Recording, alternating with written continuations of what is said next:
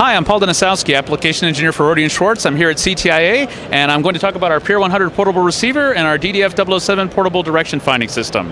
Uh, here we have the PR100. It's a portable monitoring receiver designed for field use. Uh, it's used for interference hunting, spectrum monitoring, and other functions. What we're actually looking here right now, believe it or not, is an interferer here on the floor of the show at CTIA that we're able to detect on top of Verizon's uh, CDMA spectrum.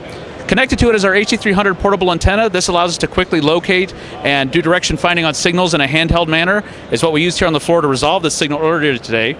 The PR100 has a number of other functions such as mapping, uh, the ability to record and play back spectrum, so it's an ideal tool for any kind of field interference or spectrum monitoring application. What we have over here is a DDF007 system. This takes our PR100 portable receiver, connects it to a laptop and a special antenna using correlative interferometry, and allows us to do vehicle-mounted direction finding. What you can see here on the screen is an example of how it works. The red circle indicates the location of the transmitter of interest. What makes this system really unique is that it's able to do this completely in an automated fashion. No need for operator intervention. Just put it on the vehicle, drive around, and it will find the location of the emitter for you.